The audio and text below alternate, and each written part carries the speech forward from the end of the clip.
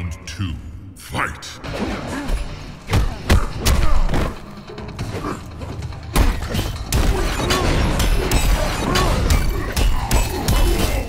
On your knees.